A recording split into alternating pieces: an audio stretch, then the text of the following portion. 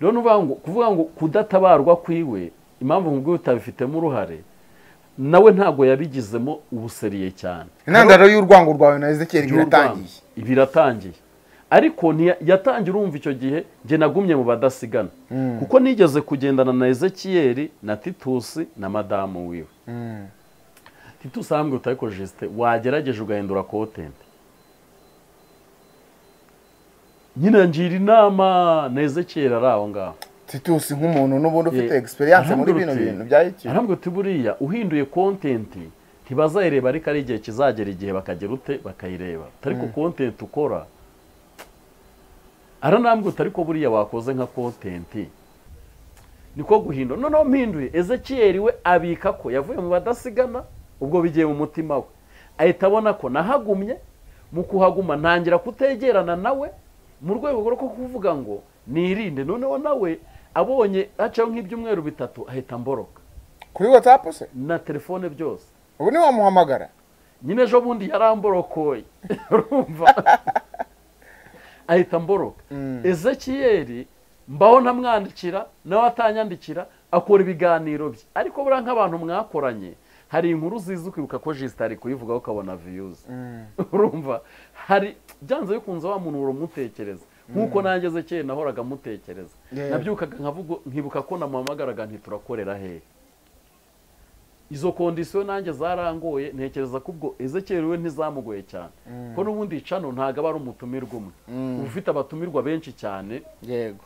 bashobora kuku- kukwegera. Mm. ezekiyeli ejo bundi nyine barabizura. Ariko hari inama yakozwe nyine y'abantu runaka baravuga uti tugiye kwataka jisite kuko nama kakorewe mfite ijwi mfite ijwi ezekiyeli we yaranyihamagariye. Mm. arambwira uti uri umugome. Kuki tukwataka ntuvu? Pasita niyonzima korode nabonye ntacyo ahomba. Akora ameze nk'umuntu utagira icyo ahomba. Mm. sinzi ko hari ikintu kiri sipesho ushobora kumuvuga mu bantu. Kidasanzwe cyaba agashya kuri korode urumva ariko bishop gerard we afite ikintu ahomba Mm. kuko yaje nk'umuntu watanye n'umugore none mu kanwa ka korode hatangiye kuvuga ngo ah, bishop waza ngo bakavuga ngo ngo nta bagore bagira ngo kandi babana n'abagore. Urumva? Aramugira se? Eee gerard agira umugore? Ndakurahiye. We ibintu bigiye kumeneka ahangaha uraje wumirwe. Urumva? Uraje wumirwe. Noneho gerard ntabwo abantu nta mugore agira. Ni ukuvuga ngo by'ukuri ibintu nabwira abantu niyo nzima twese. Uzi ibintu dutegereje kuri niyo nzima korode wenda ngo abantu bishime ni bibiri. Icya mbere ni ugupfa icya kabiri ni ukuba nka ribu yavuga ngo Baramufunze. Murangira- nka murangira yarangiye ya- yatangaza itangazo rivuga ngo ribu turamenyesha ko twafunze umugabo witwa niyonzima korode aziri- akekwaho ibi n'ibi n'ibi. Urumva ni byo abantu bamukeneyeho naho ubundi kuvuga ngo yasambanye ngo kuvuga ngo korode yasambanye. Nese nimba aza akavuga uti agahamagara ati mamu ngo tima ngo njye na mutesi ngo twara ngo ngo twaraye muri hoteli ngo cyangwa ntitwayirayemo ngo mwayirayemo. Nese uwo muntu uri ngo ninde wababwiye ko ngo mutesi yanyimye se? Uravuga uti ninde wabwiye ko mutesi yanyine Eh, nta kintu nta kintu gishyashya bavuga kuri korode uretse kumva ngo korode yapfuye no kumva ngo korode ribu yamufashe. Yego. Ni cyo cyonyine abantu bashobora gutegereza. Reka ngusuze kandi nkwifuriza ibihe byiza aho uherereye hose aziya australia burayi ndetse n'ahandi hose mwumva ururimi rw'ikinyarwanda. Reka ikaze niba wumva utamerewe neza. Ihangane ejo n'ejo bundi nawe ubuzima bwaba bumeze neza. Umunsi byanze kubera impamvu runaka ariko burya mu buzima habaho chance na kasi. Justin umeze ute? Ndashima imana. Ndabona umeze neza. Urebye ni pole pole reka. Mm. Eh? Ubuzima bw'aba ari pole pole buriya hari umuntu uherutse kuvuga akantu aravuga ngo impamvu abantu batoza twababwiye uti tumeze neza Mm. nuko nta kundi twabigenza. N'ubundi umuntu uramutse umu- umumenekeye ikibazo cyawe ufite n'ubundi nta kintu yagufasha. Rero abanyarwanda ikibazo ikibazo nyangira ku banyarwanda igihe cyose umunyarwanda wamubaza ngo umeze ute niyo yaba yapfushije nyine. Nyine arabibona ko waje kumutabara. Ari kubireba yego tumeze neza. Kubera iyihe mpamvu. Nuko hari igihe aba yaranakubwiye n'ibibazo byawe ntugire icyo ubikemuraho Eh. none se urumva tugiye gutabara umuntu nyamaze arwaye twarabimenye. Urumva bigeze aho apfa utaranamwohereje isukari. Ariko urahageze utangiye kwivugishwa ubugambo mwaramutse. Nyine baramutse. Rero ntubibona Urumva? ariko mana aba we. nyine ari baramutse nyine. Eh. uhageze nyine uje guhamba ni cyo kikuzanye Eh. burya niko abakubwiye nyine ahubwo uti naramutse. Naramutse. Wari uzi ko ntaramutse mbese wari uzi ko ntaramutse uzanywe hano n'urupfu. Ntabwo wazanywe n'ibyiza. Ati ndaho. Ndaho nyine. ariko buriya warahageze Eh. ahita akubwira uti sha burya ubwo uhaheruka? Ati burya Eh, nyine agahita agucira ku mayange y'uko byahise tujya bigenda. kwa muganga tugeze Eh. kwa muganga bakimushyira ku gitanda Eh, biba birarangiye. Kubera ko ari kukubwira amakuru ko warahageze ariko iyo utahageze yihita Eh, turaho. Arimo aranikomereza yigira mu zindi gahunda. anigendera ahubwo Nawe uti murebe uwo mukenyero n'uwa runaka. Nawe ukicaraho mu ntebe. Ugategereza ugaheba rero niyo mpamvu abantu iyo uri kubabwira umuntu hano akaza gutera komenti wowe uraye ufite kamera? Mwakuye amaboko mu mifuka. Kandi n'ubu nayakuyemo. Rero gukura amaboko. Abantu baba bazi ko abantu baba batari ku kazi. Mbese nari ku kazi ngewe reka mbanze mbwire n'abantu. Nk'ubu ku kwezi nakuyemo ibihumbi magana abiri birenga. Sibyo? Ngaho noneho ntihagira abisheta bahembwa magana abiri. Kandi noneho ukundi bishobora kuba bizini- bizaniyongera. Kuko youtube icana iyo ugize amahirwe ntabwo igenda imanuka. Izamuka igenda izamuka. ngaho abafite uwo mushahara cyabandangira akazi nagenda agahembwa ayo mafaranga. Kandi azaniyongera. Kuri diporome yanjye aziyongera nyine. Mbese ni gute umuntu ambwira ngo mushake ibindi bintu mukora? Kandi kubikora ahubwo wowe birebe ubitindeho. Nawe ubundi ni- Eh, n'amaboko njye nayakuye mu mufuka n'imana irabishyigikira. Eh, Eh, ba- ba- bamwe baravuga ngo mwebwe ngo muri abakozi b'imana ngo ntabwo mwakagombye kuza kuvuga ibyo ngibyo. Ubundi se ni ibiki mwakavuze? Ubu se nimba nimba umuntu abona umukozi w'imana yasambanye nimba umuntu abona umukozi w'imana ari guteka imitwe. Nimba umuntu abona umukozi ubu se nta bantu kirisito ngo abashumba babaririye amafaranga n'imfashanyo n'ibiki? Ni byo bahora bavuga none gusa se kuki njyewe nimba nizeye kuri yutube abantu banyataka? Kandi njyewe imana yarambwiye uti itaranuro ryawe ndishyize ku rurimi. None ugomba kuvuga wewe. Njyewe ngomba kuvuga niko gukura amaboko mu mufuka kwanjye. Eh, ese abantu nimba nkuye amaboko nakuye ururimi mu kanwa? Ubwo rero ahubwo abantu nibanshyigikire. Ehe, barebe ibyo nkora. Wenda ibyo, babona nakosora. Ambwira uti kosora ibi. Cyane nimba hari n'umuntu ubona kuko buriya urabizi ko hari abantu biga n'imishinga sibyo hari umuntu ushobora gushyira ibihumbi senkani akakwigira umushinga mu mezi atatu bikaba bivuyemo iry'itanu. Hano nimba hari umuntu unkurikirana akabona hari kontenti yakwiga akabona yashyigikira nkayikora. Nayige anzanire uwo mushinga nanjye wa kontenti nyikore. Kuvuga ibyo ba- ibyo Urumva? badashaka. Rero umuntu udukurikiranye ajya atugira inama bareke kutubureminga ariko bareke kuduca intege ahubwo mu bintu dukora. Yego. Kubera yuko imyaka ine tumaranye mubona ko aho kugira ngo nsubire hasi ngenda nzamuka rero abantu ntibumve yuko imana ibirimo. Imana ibirimo. Hano nta muhanzi wayiririmbye yarayiririmbye aravuga uti imana ibirimo. Njye mbahereza amakuru ku gihe nkabahereza ibyishimo mu- Eh. mugaseka mwarangiza ngo ni- nimveho mveho gute? Njye kandi urumva ikibazo kiba gihari? Eh. yutube buriya yajyaga intera ubwoba cyane. Eh, abantu bakunda kuvuga ko jisita akunda gusaba imbabazi. Mm, buriya yutube iteye ubwoba. Mm, yutube nta kintu ushobora kubona wakora kinyura bose. Oya mutabazi yigeze kuvuga ngo ubundi ngo eh, na yesu. Ntabwo yaraje aziye bose ariko bose ntibamwemeye. Yego. Bivuga ngo yutube ukandira kuri urumva mbere na yo ndi mu matiku biriseriye nkatikura kabisa umuntu wese akavuga uti jisita ahangaha noneho araje amenagure Eh, barantuka simvuye mu matiku nabwo baravuga uti nahinduriye sisiteme ahubwo ni bwo nyakora kandi ngewe nzi ko nayavuyemo urumva neza ubwo uri kuva wabona ikintu uhereza abantu bakishima nazanyeho ijambo ry'imana ntawe uneza rubanda baranarireba njya mu gufasha barabireba ariko najya gufasha abantu najya gukora inkuru y'ubuvugizi umuntu wenda ngo ndebe ko yabona n'umufuka wa kawunga. Hakabura n'unshyigikira ngo ampereze ni- ni- n'ibihumbi bitanu. Basi nzamushyire ibiro bitanu bya kawunga. Mm, kandi urabizi ko hano twakoze inkuru ushobora gukorera umuntu inkuru. Ikavamo zeru n'ibice by'amayero. Mm, noneho we kuko yabibonye ko byageze mu bantu igihumbi cyangwa magana inani agahita avuga ngo yarancuruje yarungutse. Ntazi ibya yutube ibyo ari byo ntazi iki. Ugasanga umuntu arimo avuga ngo waramucuruje. N'ibyo na byo mbona ni stress. nagahinda mu bindi yego jisite turaza kwihuta cyane muri ino minsi. Inshuti yawe magara none nabonye mwa- mwashwanye. Se mwebwe. Noneho murongera musabane imbabazi. Ah, buriya rero reka nkubwire. Mm, ah, igihe cyose shitani ahora ahunahuna. Kandi mu guhunahuna kwa shitani mm. asopanya n'ubundi abantu bagendana. Buriya ntu- ntuzibeshye nta munsi n'umwe shitani azagutandukanya n'umuntu udafite umumaro. Ahubwo gutandukanya n'ufite umumaro. Yego ku buzima ezekiyeli yaragufitiye umumaro? Ah, ezekiyeli ntabwo nabura kuvuga ko yari amfitiye umumaro. Ahubwo ni uko uko navuze ibintu bo babitwaye ko bitari.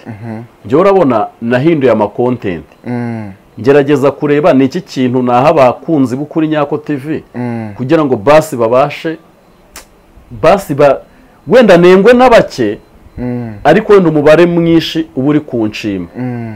muri uko kugenda ugerageza guhindura amakontenti ntabwo wagiye ufata inshuti nka ezekiyeli ukazerimina Eh, ndavuga nti bitewe amakontenti ya ezekiyeli bose barayazi.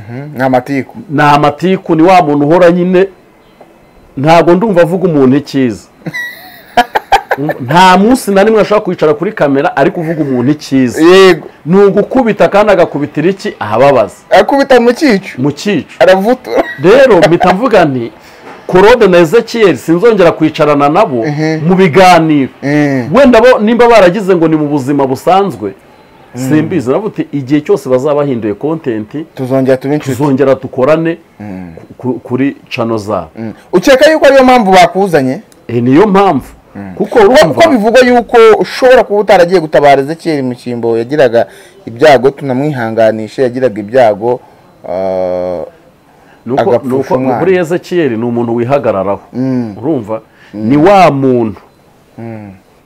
Ni mudakurwa ku ijambo nawe arabizi ni wa muntu kugira ngo asabe imbabazi. Ntibya- ntibyakunda mbese. Niyo yabirota arimo arayikuje yazajya amubwira uti shi shi. Ariko ezekiyeli sinamwumva yasabye imbabazi. Uya bibaho se? Ni wa mugabo nyine?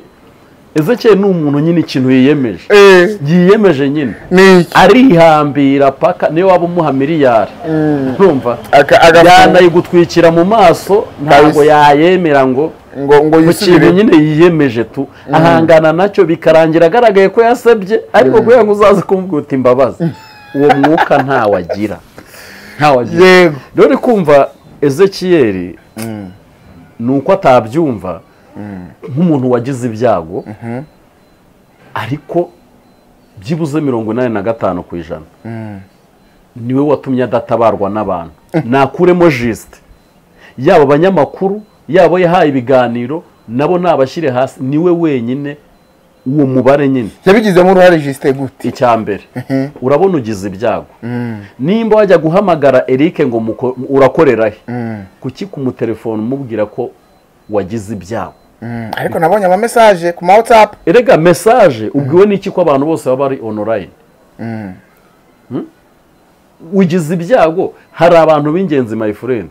Ushaka kubwira bakakubwira n'abandi. Ubwo yari kwirirwa guhamagara kandi waramubwiye yuko utazongera kugaragara mu bikorwa byiwe? None se ngewe ubwo nimba naramubwiye gutyo noneho. Ya- yanshyiraho urwi- umwikomo gute? Atampamagaye. Nimba atampamagaye nanjye yere kundenganya ngo sinamutabaye. Ariko warabimenye? Nabimenye saa mbiri zo ku cyumweru. Bashyinguye ryari? Noneho maje kubi yari atarajya gushyingura bari bagiye kuzana umurambo.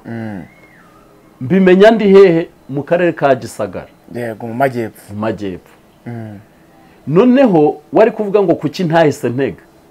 Azi nimba nari mfite tiki? Azi nimba naragiye nari ifute twese ko ubuzima tuba tubanyeho muri ariya matariki tuba tubuzi numara ngewe byaranambabaje nari mfite n'ibihumbi bitandatu. Imbere n'inyuma. Mpita nkanda akanyenyeri mwohereza bitanu. Na magana abiri ngire ngo.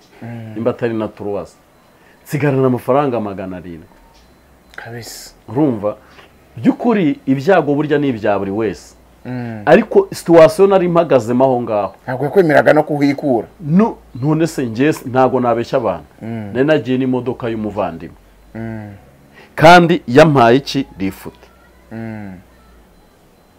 twese tugenda muri ubwo buryo. Nkumva abadasigana harimo abantu bafite amamodoka. Iyo dufite urugendo rurerure utuye hafi y'uturanye ariko na n'undi. ezekiyeli arimo mu badasigana. Oya yarasezeye. Yasezeye kubera iki? Niwe wisezereye. Urumva kuko ndibuka yuko igihe ezekiyeli twarabanaga. Ndibuka yuko igihe twari ni byo byane twagiye nakubwiye ngo ntabwo ajya akurwa ku ijambo nyine ikintu we yiyemeje. Mu badasigana cyangwa bari batangiye kumubonamo nk'umunyamatiku batangiye Oya, kumunuganuga amatiku twese twagezemo dusangamo n'abantu twagiye tuvugaho.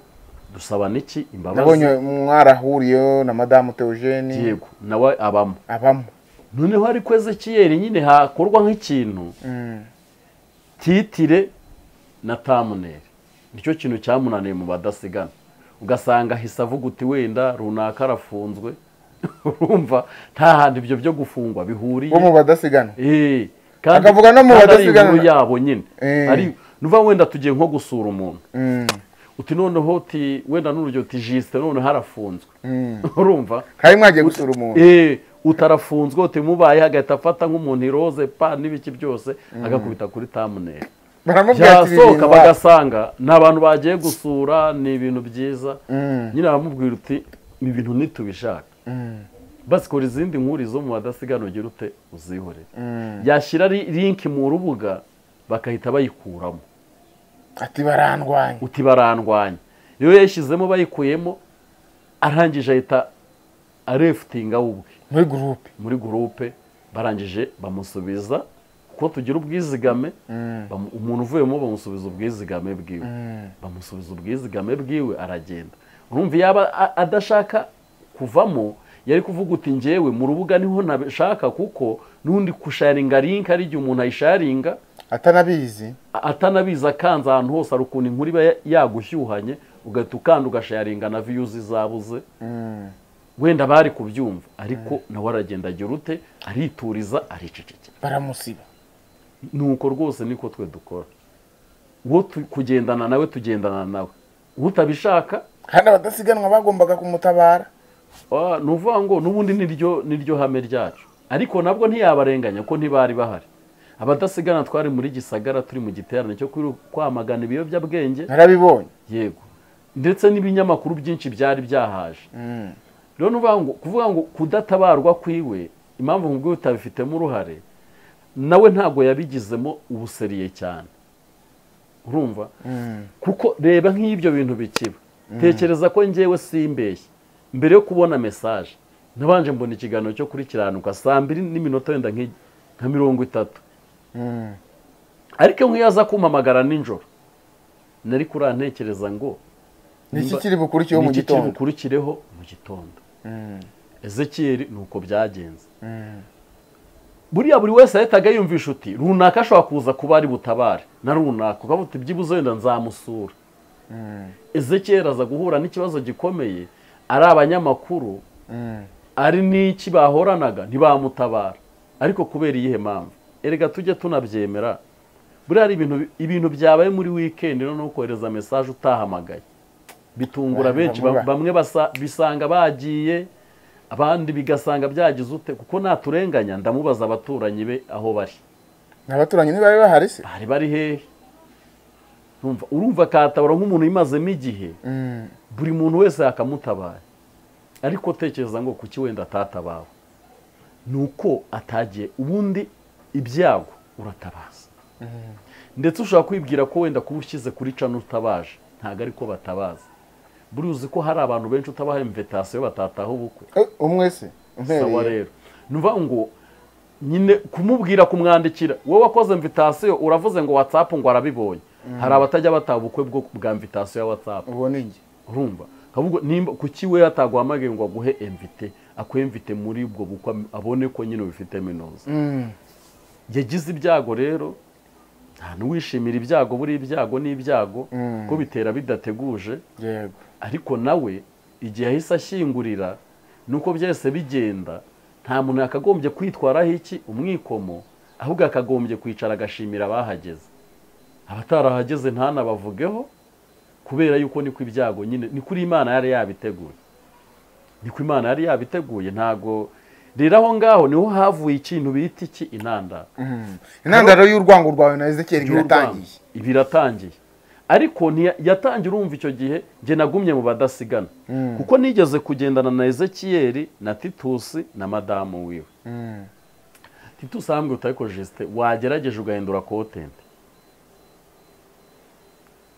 nyine ngira inama na ezekiyeri ari aho ngaho. Titusi nk'umuntu n'ubundi ufite egisperiyanse muri bino bintu bya YouTube arambwira uti buriya uhinduye kontenti ntibazayireba ariko ari igihe kizagera igihe bakagera ute? Bakayireba. Ariko kontenti ukora? Aranambwira uti ariko buriya wakoze nka kontenti ukajya ugenda ugatungura nk'abantu bakomeye ukabakora amaniveriseri ukagira gute? Ntumva iyo kontenti yaba ari nziza ariko urumva ni ibishoro sibyo? Urumva ni ibishoro. ni ibishoro bi- uti byazajya bikura abantu bakanagukunda. Urumva nyine ndavuga buriya reka nkubwire nubona umuntu w'umugabo akakwicaza akakugira inama. Akabitekerezaho mutanareshya mani mutanareshya iyo mvuze kureshya mba mvuze yaba uburyo ki bw'amafaranga? Bw'ubushobozi, niko bw'ubushobozi, dushatse kuvuga ubwo. n'agaciro ni cyo nshatse kuvuga. Ariko akagufata aka- akaguhereza umwanya. Buryo uba ugomba kwicara ugatekereza kuri ibyo bintu. Siko bimeze? Niko bimeze. Rwose umuntu nimba akurusha nta kintu agutezeho. Ntagutezeho akazi. Nturi mubyara we nturi murumuna we. ariko amaze igihe akureba yafashe umwanya arakureba. Abona yuko ibyo ugomba ukora atari byo areba n'icyo wakora. Areba n'icyo wakora. Buriya ibintu ni bibiri. Ushobora kunenga jisite. Yego. Noneho namurenze mubwira n'icyo yakora. Ibyo Yego. bintu ni iby'agaciro. Ni iby'agaciro. Ntabwo twese tubibona. niyo mpamvu nahise mbi- mbifata njyewe. Aho ngaho ezekiyeri twarasohotse arambwira uti bagushuke bagire gute? Ni akazi kawe uzabaho ute numva ni byo. Urumva ezekiyeri nawe ni inshuti yanjye. Eh, noneho titusi ntabwo ari inshuti yanjye biri hejuru. Mm. ni umusitari uri na hejuru yanjye cyane. Cyane pe cyane. Ariko cano yiwe bwite y'indirimbo yagize ibihumbi ijana. Afite indirimbo zarebwe n'amamiliyoni. Mm, njye nta indirimbo yanjye yarebwe cyane ni ibihumbi bitanu. Uwo muntu kumanuka akaza akakwegera akakugira inama akakwicaza. Mm. ezekiyeli arambwira uti bagushuke numva koko baranshutse. Navuga ati ntabyo nzakora mwene ezekiyeli ntabyo kana." nakora. Ubwo ntagiye titusi ubundi noneho arampamagara muri hoteli nziza. Haciyeho iminsi Mm. abona naranze kumva. Arongera aranyicaza. Muri hoteli agura inkoko agira ute? Ahambwe uti ariko wanyumviye? Ibintu wabivuyemo. Kandi ko ibintu uzabikuramo umusaruro imbere ahangaha ndavuga utumva rero amatiku rwose nyavuyemo turi umugabo nka bundi noneho bihurirana na cya gihe vava yapfaga. Mm. urumva? Bihurana eh, ndavuga uti ariko nyamaze nintumvira uyu mugabo. Uyu mugabo ubundi ku cya ngenza akampa umwanya akampa agaciro gutya na gutya. Niko guhindura noneho mpinduye. Ezekiyeri we abika ko yavuye mu badasigana ubwo bigiye mu mutima we. Ahita abona ko nahagumye mu kuhaguma ntangira kutegerana nawe mu rwego rwo kuvuga ngo nirinde. Noneho nawe abonye hacaho nk'ibyumweru bitatu ahita mboroka. Kuri watsapu se? Na telefone byose. Ubu ni wamuhamagara nyine ejo bundi yaramborokoye. Urumva?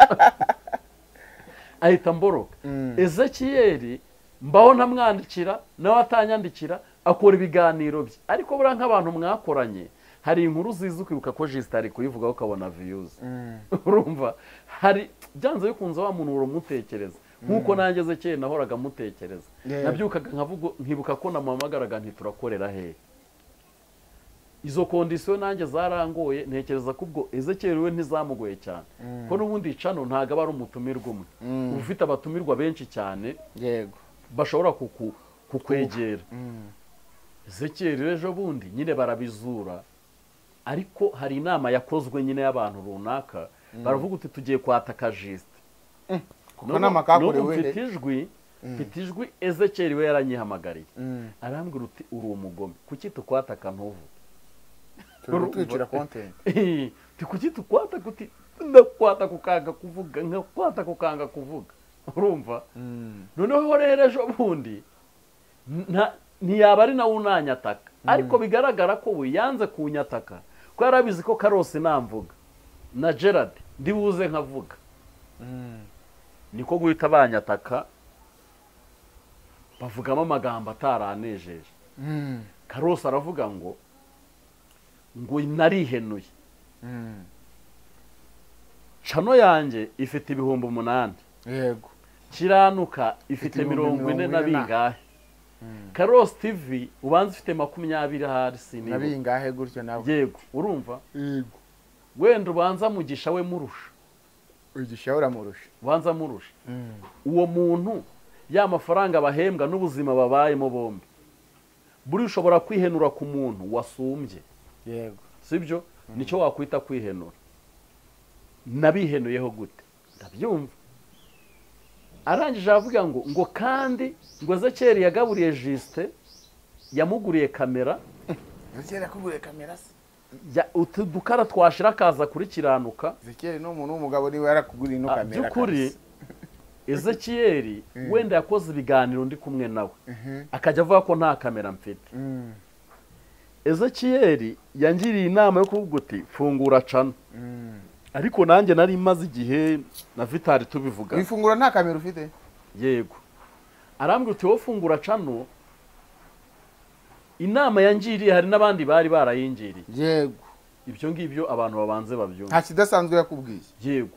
Noneho ezekiyeri ikintu yakoze we noneho ikintu yavuze wenda yashyize mu bikorwa ibyo abandi bambwiraga. Ntabwo turo no fungura cano kaduhite dushyiraho n'ikiganiro. Ni gute abantu bakugura kamera? Utarakora. Dushyiraho ikiganiro ntiza kamera. Haciyeho nk'iminsi itatu njya ku mpanuro. Mena agafurashe nabikagaho amakuru. Nabwo numva mvuga ko mvuye mu matiku umumama abonye nkamennye anyohereza ikiganiro cyo ku mpanuro. Ntabwo uti ibintu byankoze ku mutima. Mu gitondo uzinduke ugende mu mujyi utoranye ibikoresho bitarengeje aya mpanuro. Nani ku- kuri- ku- ku mpemburo? Ni ku mpemburo sorry. noneho arangije icyo kiganiro nagikoranye na hore mpamagara hori mu gitondo. Kuko ibya kamera sinari mbizi. Araza tujya hariya tedemiri ntoranya kamera amabuye mashini mikoro ibiki byose. Umubyeyi yohereza umuntu araza arishyura. Urumva? Ezekiyeri tutabeshyanye rwose pe yaratatse ko nta kamera mfite. Ariko se ubwo iyo kamera yavuye mu gutaka kwa ezekiyeri cyangwa ni ikiganiro nakoze kuko uwo mumama ntabwo yambonye kuri kiranuka yaraguhaye na videwo yakubonyeho Yego, yambonye ku mpemburo. ku mpemburo. Nanajyana na hore. Ntabwo najyanye na ezekiyeri kugura iki kamera. Mm, mukurikirana ibiganiro byo ku mpemburo ni ho naronshingiye iki kamera. Kamera. Kamera ezekiyeri yaguze. Navuga yagizeho uruhare ni iya gerard. Kuko yakoze n'urubuga abantu bitangiraho. Ndetse hari urubuga yankoreye icyo mushimira? Twagendanye urugendo rwiza. Aharanira iterambere ryanjye. Utekereza ko rwarangira urwo rugendo se?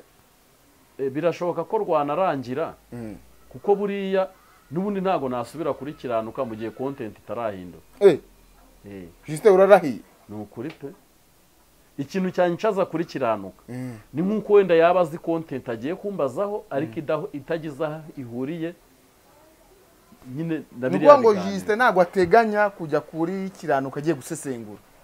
Huya gusesengura gutya by'amatiku twa- twakoraga.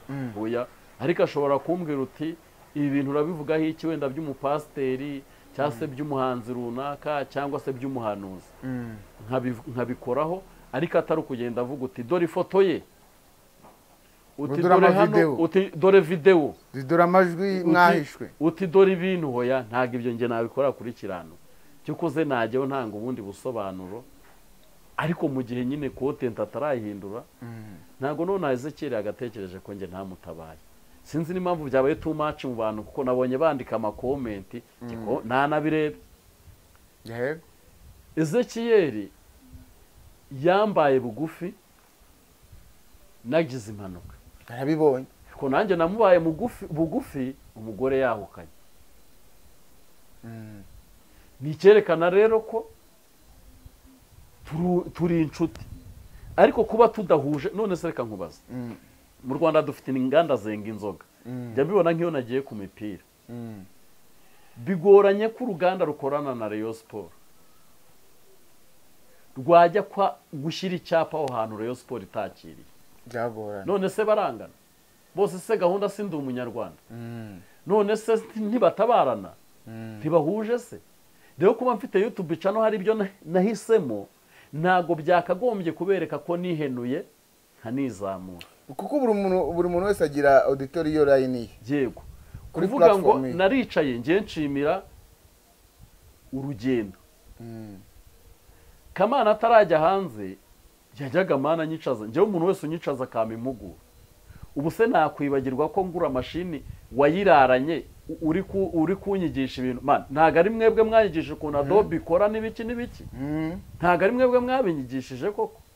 Nta saa sita z'ijoro usanganye cyane turi ikagugu none se ubwo ngubwo nimvuga uti uti ntiyanyigishije kweditinga nabwo ari buze? Agire. Kuba urumva si we wanciriyemo adobe si we wanyeretse uko ikora? Si wanyeretse ukuntu bashobora kweditinga iby'ibanze. Eric mbizi neza ko ari we wabinyigishije. Kandi yari abizi. Kandi yari abizi. Sibyo ntago ntago navaga ukagusanga he rero nimba nyigisha uko bakata n'uko bashyiramo ama adi yivuga ngo yanyigishije kugira ute kweditinga ibyo yakoze na byo imana ibumuhera iki? Umugisha. Ariko gutya ndumva nta nta byacitse byo kwicara ngo yumve ko ubuzima bwa jisite ari we wabukereye. Navuga ko ari we wabukereye nanjye ndazana ibyo nakereye mu buzima bwiwe. Usange tugiye guterana iki amagambo ko yagutunze mu cyimbo byari bimeze nabi. Erega uyu munsi wa none abantu badutunze tubashyize ku murongo. Hari abantu batwishyuriye amazu. Twarabashimiye. Ariko nimba mvuze buriya ugiye gushimira umuntu buriya abantu bashobora kukugaburira ari benshi ari ariko umuntu akakugaburira saa sita gusa ugahita umuhinga yego. Ibyo urabyemera? Abantu benshi bashobora kukugaburira binabagoye. Bakanakugabura n'igihe kirekire. Ariko umuntu umwe akaguha ifunguro rya saa sita gusa ugahita umuhinga ni iyihe mpamvu se? Hari impamvu ntabwo ngiye nshimiye kamana kuko afite ikinyamakuru gikuru aho ageze nanjye nzahagera. Ariko nta nubwo naje ngo nteshe agaciro ezekiyeri ndavuguruza ibyo bo bavuze kuko kuko urumva nimba umuntu yaraguhaye kamera ari aho ivuye hakaza undi muntu akavuga ngo yaguhaye kamera. Nawe ahita yibaza uti se burya namuhaga kamera afite indi niko bimeze. Si byo se? Nimba umuntu aje akavuga uti byagenze uku uzi- njyewe namwishyuriye inzu hari umuntu waje akagira ute? Akakwishyurira inzu. Njyewe umuntu wanyishyuriraga inzu hashize amezi angahe atayishyura. Rero ntabwo ari kuvuga ngo yaretse kuyishyura ngo kuko ngo natandukanye na ezekiyeri kandi wazi ibyo twivuganiraga nawe uwo muntu wanyishyuraga inzu. Rero kuri yutube umaje kubona ko hari abantu bahamagara abantu bakababeshya ngo inkunga na- nahaye erike yarayiguhaye ntayo yamuhaye. Kugira ngo- ahubwo abateranye uyu munsi hari abantu bari kuregwa amafaranga batigeze bahabwa y'abatumirwa. Kuko hari abantu hariya bicaye nyine bashaka kukutobanga mu bwonko. Rero ezekiyeri njye ndumva ntabwo byari kuba birebire ariko ibyo bintu bavuze ndetse kamana aranyicaza akambwira uti kora ibi n'ibi n'ibi. Urumva akanyegera. Akajya ashaka ukuntu yampuza n'abasitari kambwira uti wenda izina rye ryazamuka kuko byari byaranze. Niwe wa mbere wampuje na vava. Kandi vava icyo gihe yari akomeye. Yari ari hita ukuntu birenze uko yari ameze. Turakorana ikiganiro cyikoma mu bihumbi ijana na. Mpita mfatiraho. Mbese ubwo muntu avuga yuko yaguhuje na irene kuri the choice live. Bo irene irene twarahuye kuri the choice. Yes. Turahura icyo gihe urumva nari ndi hasi cyane. Mm. turahura. Cyane. Ni kera abona nta content ndimo. Mm. icyo kiganiro ndacyibuka n'ubu cyarebwe n'ibihumbi bitanu. Mm. ni byo byandi nakubwiye ngo ya- yahigaga iterambere ryanjye. Akigukunze urumva? Rero iterambere ryanjye yahigaga imana yarabishyigikiye riraza. Ariko ntabwo ryaje ntabwo najyanye umunwa wan- wanjye ngo njyane n'uwazekiye. Nta nubwo wajyanye umutwe we. Ntabwo najyanye umutwe we. Ezekiel ibitutsi natutswe ni njyewe byatukwaga ntabwo byatukwaga ezekiyeli ubona ko zekeri yatekereza yuko ubwo umutwe wawe nta kintu wari umaze. Yego. Ahubwo ari we nyine wari ufite. Rero ezekiyeli ikintu namubwira yaharaniye iterambere ryanjye. Nk'uko nanjye naharaniraga iterambere ryiwe. Yego. Ariko nimba hari ibibazo bibaye. Ntitubihanduringe ariko bareke kunsebya ku itangazamakuru. Bareke kwicara. Uwanyishyuriye inzara ahari uwayiyishyuraga ibyo kuvuga ngo nahakuye imirima ntabwo imirima nayikuye kuri kiranuka my Wa- friend. Amakuru ahari ni uko ngo ibibanza byawe ngo ezekiyeli yabimaze abigura. None reka nkubwire. Eh. njyewe Mm. nagize ikibazo cy'ideni n'ubu nakujyana aho hantu. Yego. Ngira ikibazo cy'ideni Mm. Ya madeni yunguka. Mm. rambere hoya Mm. hari ukuntu uba uri twe twabyitaga keya. Yego. Cyangwa se bya bina bimwe byo mu kagari. Ndabibona. Noneho ariko kumwe muhora mutanga amafaranga Mm. hakabaho igihe itegeko twe unaguzamo. Ni itegeko ubundi kuguzamo iyo utagujije ntabwo baguha ku nyungu. nguzamo ibihumbi magana ane. Yego. Bya bihumbi magana ane imigisha yose isa nk'ihita yibana arahomba. Ari ugutanga buri wikendi sintange Mm. ya mafaranga. Akajya ahora azamuka Mm. azamuka urumva inyungu ya magana ane ku kwezi ari ibijyaho. Mm. no kuba utatanze ibihano hari ibijyaho. N'ibiki birazamuka birenga miliyoni. Mbona bagiye kuza gutwara udutebe nabwo tutari buvemo. Kandi icyo gihe nari mfite na kamera. Mpita mbona ko na kamera byanze bikunze iri bugire ute? Iri bubigenderemo. mbwira ezekiyeri butirere ezekiyeri mfite ikibazo. Mm. nk'umuntu twakoranaga ibiganiro. Mm. mfite ideni. Nimba ngiye kujya kuri nkabwira uti mfite ideni simbizi. Ntabyo nzi. Ezekiyeri uti nungutse igitekerezo. Mm. shaka umuntu uri bukwishyuze byumvikane kuri mu ideni. Cyangwa umpe nimero yiwe mwihamagarire. Mm. arayimuha ndayimuha aramurikodinga bijya hanze. Ari puranka hoya. Mm. Nyine arambwira uti shaka umuntu Mm. uwo muntu uko urimo ideni akwishyuza Mm. urimo ideni nyine. Akwishyuza ubwo hari iryo deni ryo muri keya hakaba hari n'undi muntu nari mfitiye ideni ry'ibihumbi ijana. Mm. arangije aramuhamagara amufata rikodi iyo rikodi azishyira hanze. Amaze kuzishyira hanze njye njya ku rugendo kwizera na baraka barankoresha. Komenti zose zaje zinuka cyaranarebwa icyo gihe. Mm. zimare kuntuka havamo umuntu umwe ari kuri noheli Mm. Bari bugabane amafaranga kuri makumyabiri n'umunani. Mm. havamo umuntu umwe kuri noheli uri muri amerika witwa shantari ahamagara niyo nzima korode urumva? Pasiteri nta nubwo ahamagaye ezekiyeri Mm. yahamagaye ni pasita niyo nzima korode aramubwira uti jisite kuko afite ideni Mm. kuko korode aramamagara mwoherereza ibipapuro avugana n'abo bantu bo muri keya aramubwira uti jisite afite ideni noneho uwo muntu arongera amagana niyo nzima korode ampuza noneho korode ampuza n'uwo muntu kuri telefone Mm. uwo mubyeyi ahita anyandikira ibindi byaje kuhabera ariko rode ntabyo azi Mhm. Urumva neza cye nta n'ubwo uwo muntu ahari yari amuzi uretse ko tumaze kuvugana yarambwiye ngo akunda gukurikirana na kiranuka. Turavugana arabanza anyishyurira iryo deni. Ta miliyoni irengaho. Yego kuko ya- yampaye ama- amadolari yavuyemo ibihumbi ijana na ni- miliyoni n'ibihumbi ijana na cumi na bine. Ubwo nk'amadolari magana inani na mi- mirongo itanu. yampa amadolari magana inani ni na cumi n'umunani ngirengo Yeah. Urumva? Yego. Ibyo ngibyo birangiye nyine urumva tuba inshuti. Arana ni umunyamasengesho uwo muntu. Mm. akajya nsengera mu nyuma arambwira uti ndashaka kuva ahantu utuye. Ngiye kukwishyurira. Igihe kirekire. Nta kibazo. Ngurire na madamu we telefone nawe nkugurire telefone. Mm. kandi by'ama iphone. Arabikora. Ndavuga uti nta kibazo. Noneho arabikusanya byose no kwimuka arabyohereza mbona havuyemo ibihumbi bingahe by'amadolari? Mpita njyewe ubwanjye ntekereza. Ndavuga ko nshimye ko ngiye kujya mu nzu y'amakaro nzajya nishyura magana wenda yishyuye umwaka. Ese nyuma y'umwaka? Bizagenda gute? Bizagenda gute? Nzahita mpimuka hari ahantu.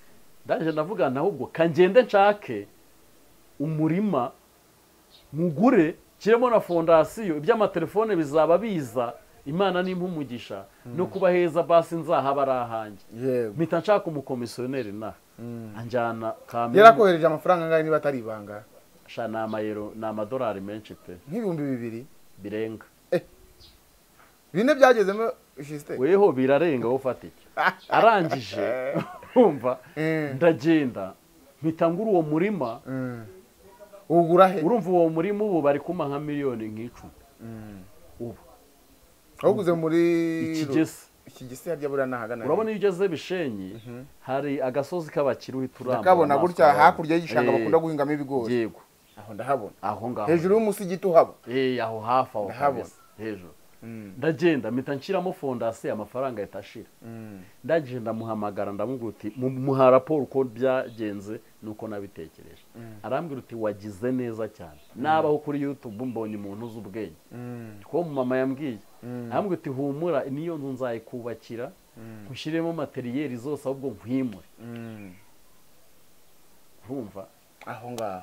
Rero ukuntu yaje kumboroka uwo muntu uwo muntu Mm. ni byo ntamenye ariko nabwo kumboroka yarabimbwiye. Yambwiye uti buriya igihe kizagera nkuboroka ariko nzagaruka. Urumva?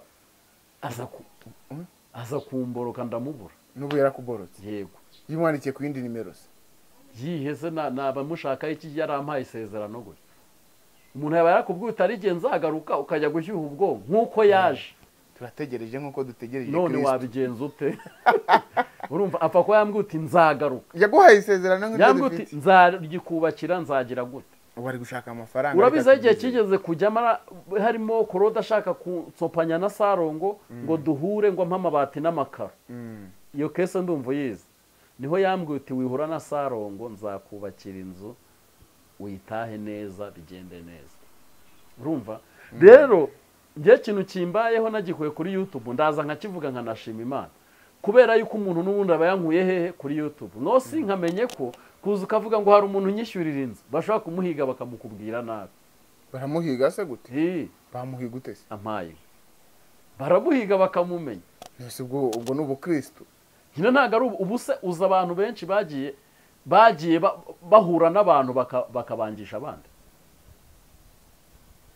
Ibyo birangiye ngewe ezekiyeri ese koko banyarwanda uretse ko dushobora kuvuga ibintu nyine abantu kubera wenda abantu barimo bandika amakomenti twamenye ko hari n'abantu ba- nk'umwe aba afite imeri eshanu undi aba afite zingahe izo komenti zikaduhabura tuzi ko ari iz'abakunzi bacu nk'ahari iza ba nyiri macana ahubwo bakereye kugira ngo bagutukiremo.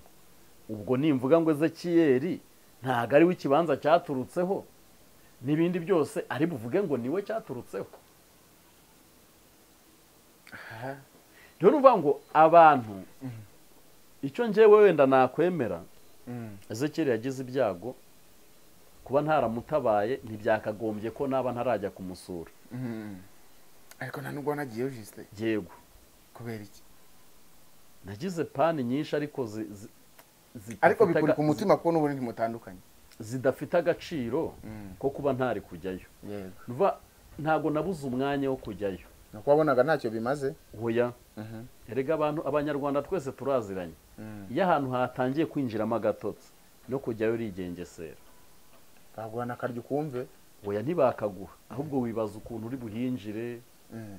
nyine hari utuntu twinshi dushobora kugutera ipfunwe byo kwinjira ahantu mufitanye byo ibibazo. kwinjira ahantu byatangiye kuzana no muri ezekiyeli aramutse agusabye kwiyunga wabyemera jisite kwiyunga gute? Ko mwakiyunga mukava muri ese ubundi ntagerageze cyane ntitwashwana Mm. ntabwo twatana ntibyakunda. Eh. niyo yabirota ntaranabirota. Ntibyakunda.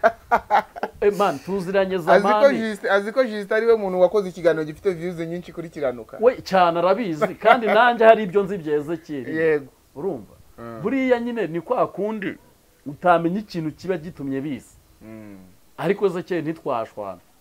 Murabizi? Ntitwanatandukana. Gusa icyo namubwiye cyo ni uko hari kontenti ntakorera kuri kiranuka ako kantu niko kamubabaje. Arakazi? Harakazi yanagasubiyemo warakamubwiye imbona nkubone cyangwa cyane narakamubwiye. ko twarahuye ndamubaza wamborokeye iki? Twarahuye arambwira uti nawe nyine asigaye agira uburyarya ukuntu utamenya. Mm. twari arambwira ngo azarocinga ngo ngo yaca nohora akoreraho. Barayironshinze eh ngo Intora. ejo ngo bazayirocinga Mm. ngumva ngo narakuborotse ngo nta n'ibyo wari uzi Mm. ngumva ngo ubwo ntiwari kuzaza kurya inkoko? Ubwabyo nyine ako kantu yavuze nahise mbifata nk'agasuzuguro kuko mu bushobozi mfite nshobora kutabubona buri munsi cyangwa buri kwezi ariko ntabwo nabura ubushobozi nanone mu byumweru nka bibiri. Byo kuba najya ahantu ngo nisengerere inkoko bibaye ngombwa. Ikiro cy'inyama y'inkoko ko Urumva. kigura bitanu ubwo ko nta nkoko igira ibiro birenze bibiri mu mabusheri buriya ntiwayigurira Re- rero uri kumva nyine ubwo ahita mborokora. Mm. bucya ahita ambwira uturaza ndavuga uti sinza hari ahantu ngiye kujya nari ndi bujye za mahoko kujya gufasha umukecuru. Mpita yongera arakuboroka arambwira ngo wohereze madamu Mm. Nanga kumubwira ibintu byinshi. Ariko twebwe ntabwo twajya mu bintu si twe batumiriraho. Mm. twebwe si twe batumiriraho. Turabyihorera rero ari iyo ngiyo intoranwa na yo nayihaye ibiganiro. Ndabizi igikoraho na misigaro paul kuba rero bari kuntumira bantumiriyeho. Kuko muhuye. Ko duhuye mpita numva ko ibyo bintu ikindi gihe arambwira ngo afite aniveriseri ntabwo ngewe nimba ndi inshuti yari afite yawe. aniveriseri ya madamu n'umwana. Yego ejo ari bwumbwira ufite aniveriseri nimugoroba Mm. ejo umbwire ngo ufite aniveriseri erega abantu bajye ba- babyemera buriya eric. Mm. hari igihe kibaho njyewe nzi nyine twabayeho ubuzima bubi bunakomeye. Ku buryo buri muntu wese nyine yadufatagaho ijambo uko abonye. Yego. Ariko uyu munsi wa none ntabwo ari ko bimeze. Uyu munsi ntabwo ari ko bimeze. Hari igihe cyageze ngewe nkajya mva abantu b'inaha bose barabizi. Nkajya mva ahantu hitwa ikagina nabaga. Nkajya kurara rume n'amaguru kureba ko nabona umunyamakuru umpa ikiganiro ikagina ubwo nahagana he? Hasi firiya hi- hirya y'igihara hasi ahantu uba ureba za sikoro. Nagendaga amasaha arenga umunani. Nkazinduka saa kumi. Nkamanuka n'amaguru nkagera nyabugogo nkazamuka nkajya muri ararume kureba ko nabona umunyamakuru uri bumpe ikiganiro. Nabwo bigoranye viyuzi ari ijana. Ari zo bari bundebemwo z'ijana. Nagira amahirwe umuntu akamasenkisa nkatega nkagera nyabugogo nkazamuka gutya n'amaguru pore pore. Uyu munsi wa none rero tugeze ku rwego rwa rwego rwararangiye. Tugeze ku rwego natwe tugira ama YouTube. Mm. tugeze ku rwego natwe dufite abantu badukurikirana. Tugeze ku rwego aho umuntu natwe yavuga uti kanjye kureba jisite ntabwo aho ngaho rero ariho nkigeze ahantu umuntu ashobora ku- kuba akinkangisha inkoko cyangwa iki. Umuntu ajye yishimira ko basi jisite njye niyo ntavuga hezekeri yankuye Mm. basi niyishimire ko abona aho ngeze. Yego. Nishimire ko hari aho ngeze. Nimba ari nako yiyumvamo ko yagizemo uruhare imana izakamuhembera ariko ntabwo ari igihe cyo kuvuga ngo ese ubwo abantu kuki ubundi abantu b'abagabo bashwana bakazana ibyo baryanye ibyo banyuranyemo? Hoya. Ahubwo wowe vumiriye uvuga uti eh jisite nimba nakwihenuyeho bigumishe mu mutima wawe. Mm. bigumishe mu mutima wawe. Ariko simboneze kera twagira icyo dupfa. Oya ntacyo. Ariko nanone ntabwo yajya kubeshya abantu da. Icyo yangombye ndakizi ntacyo namugombye ndakizi. Ariko hari abantu bankoreyeho umugisha. Kandi nabo barabizi ko batabi- batabitewe n'uko barebaga kiranuka. Yego. Sobanuye aho bagiye bagira ute? Babikura. Babikura. Rero kuba naragendanye na ezekeri ntiyari kubura utwo anyigisha ntiyari kubura hari n'igihe yantegeye kinini. Mm. eh, tuj- tujya mu biganiro. Yego. Hari igihe yantegeye hari ubwo namuguzaga amafaranga akayampa Mm. ariko ntayo namwambuye naramwishyuraga. Urumva? Rero ibyo abagabo bose bari kumwe bafashanya mu bintu byinshi. Mm. U- none se ubu nanjye nze mvuge ngo umugore yamutaye naraye amajoro nagize gute? Hoya twagiye guhendahenda tumuzane ibiki n'ibiki hoya. Ahubwo ibyo umugabo agiriye mugenzi we aravumiriye. Nimba ugiriye neza umuntu akaguhemukira iturize nawe azahemukirwa n'abandi. Ariko njye nta kosa mbona ku byabaye kuri ezekeri byose ntekereza ko nawe ntacyo yanshinza. Mm. kuba mpinduye kontenti we nicara asesengura wenda avuga uti jisita aracyari mu matiku. Yarababeshye ntiyayavuyemo kuko ndi kuri yutube ariko yere kujya kubizana ngo amakara ubu se amakara gute? Wenda navuze ko nta n'udukara mfite ariko ntago havuye amakara akurikirana. Yego. Eh, Justin reka tuse nk'abacumbika kuri iyo nkuru yawe na Ezekiel ahubwo twigarukire kuri Bishop Gerard na Pastor Claude muri Rowatsi ubwo si yo si yari kontenti uraza kuzinywa n'iki? Tuyivugeho gato nk'iminota nk'itanu aba bagabo nabo nabita nk'abagabo barumbiye igihugu. Oya? Umwe nigeze kumva avugamo akajambo katari keza yaravuze ati hari igihe ngo umuntu akurira ubusa. Impamvu ushobora kuvuga ngo barumbiye igihugu? Mm, ubwabyo abagabo bafite amatitire ameze kuriya. Bafite ingo. Mm, banishoboye. Kandi ubona ari abagabo buriya kwishobora bwo nasanze. Nyine hari siroga avuga ngo umugabo arigira yakwibura agapfa Mm. ni mu buryo bumwe. Ariko buriya umuntu akeneye abandi. Ntawigira. Ntawigira. Ah, rero ni ukuvuga ngo uyu bishop gerard ni we wakomye imbarutso. Mm, ariko nkabivuga mu buryo bubiri. Yabitangiye azi ko agiye gutwika imihanda. Mm. azi ko ari kontenti azanye. Kumba akoze mu ivu azi ko rihoze. Buriya nkunda gutanga urugero. Mm. abarusiya bari bazi ko ngo ikirere bagiye ku isi. None dore imyaka ibiri irarangiye ahubwo ubu abarusiya baribaza ngo twakora iki ngo iyi ntambara ihagarare? Mm. rero hari ukuntu uba wibwira ko ufite amabanga y'umuntu menshi. Kandi ngiye kuri iyi mihanda pasita niyonzima korode nabonye ntacyo ahomba. Akora ameze nk'umuntu utagira icyo ahomba. Mm. sinzi ko hari ikintu kiri sipesho ushobora kumuvuga mu bantu. Cyatubera agashya nyine. cyaba agashya kuri korode urumva? Ariko bishop gerard we afite ikintu ahomba. Mm. kuko yaje nk'umuntu watanye n'umugore none mu kanwa ka korode hatangiye kuvuga ngo "Ah, bishop aza ngo bakavuga ngo ngo nta bagore bagira ngo kandi babana n'abagore. Urumva? Aramugira se? Eee gerard agira umugore? Ndakurahiye. We ibintu bigiye kumeneka ahangaha uraje wumirwe. Urumva? Uraje wumirwe. Noneho gerard ntabwo abantu nta mugore agira. Ni ukuvuga ngo by'ukuri ibintu nabwira abantu niyo nzima twese. Uzi ibintu dutegereje kuri niyo nzima korode wenda ngo abantu bishime ni bibiri. Icya mbere ni ugupfa icya kabiri ni ukuba nka ribu yavuga ngo nkamurangira- yarangiye ya- yatangaza itangazo rivuga ngo ribu turamenyesha ko twafunze umugabo witwa niyonzima korode akekwaho ibi n'ibi n'ibi urumva? Nibyo abantu bamukeneyeho. Naho ubundi kuvuga ngo ibi- yasambanye ngo kuvuga ngo korode yasambanye. Nese nimba akavuga uti agahamagara ati mamu ngo tima ngo njye na mutesi ngo twara ngo ngo twaraye muri hoteli ngo cyangwa ntitwayirayemo ngo mwayirayemo. Nese uwo muntu uri ngo ninde wababwiye ko ngo mutesi yanyimye se? Uravuga uti ninde wabwiye ko mutesi yanyimye? Eh, nta kintu nta kintu gishyashya bavuga kuri korode uretse kumva ngo korode yapfuye no kumva ngo korode ribu yamufashe. Yego. Nicyo cyonyine abantu bashobora gutegereza. Kuko ubona ko iyo banditseho nk'akantu bavuga uti twari tuzi ko cyapfuye twari tuzi ko ari cyo cyapfuye.